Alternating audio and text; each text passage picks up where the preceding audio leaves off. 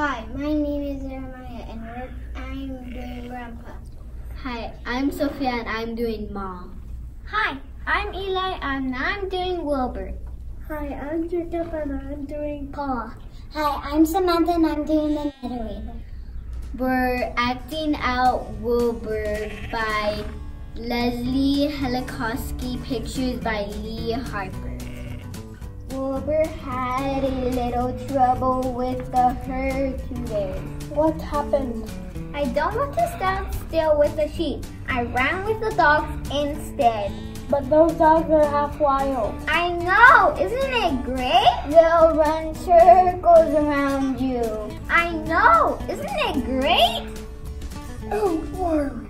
Ma and Pa pulled on their wool all night long. Woolbur had a little trouble in the sharing barn today. What happened? I don't want to share my wool. Being woolly feels nice. But it's springtime. I know, isn't it great? Your wool is so long. I know, isn't it great? But Ma and Pa pulled on their wool all night long. Woolbur had a little trouble carding wool today. What happened? Carding my own wool, no more tangles. But sheep don't card wool on their bodies. I know, isn't it great? You look so different. I know, isn't it great? But Ma and Pa pulled on their wool all night long. Woolbur had a little trouble spinning today. What happened? I rode around the spinning wheel. It was fun. But spinning is not supposed to be fun. I know, isn't it great? Your yarn is all loopy. I know, isn't it great?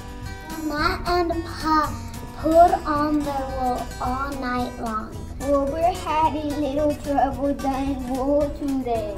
What happened? Instead of dyeing the yarn, I dye myself. I like experimenting. You look unbelievable! I know, isn't it great? It will never wash out. I know, isn't it great? But Ma and Pa pulled on their wool all night long. Woolbur had a little trouble weaving today. What happened? I put my head in the loom to weave my forelock. But that's not what you were shown. I know, isn't it great? It's unheard of. I know, isn't it great? Don't know. But Ma and Pa pulled on their wool all night long. You must follow the flock, dear. It is what we sheep do. From now on, you will stay with the herd like everyone else. You will shear wool like everyone else. You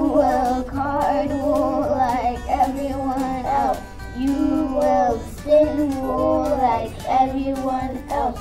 You will weave wool like everyone else. He saw and saw all night long, and from then on he taught everyone to run with the dogs, to let their wool grow, to card their own wool, to spin crazy yarn, to express with color, and to weave their forelock. Woolbur does not think like we do. I know. Now everyone looks like Woolbur and acts like Woolbur. I know. How will we ever find him? Don't worry.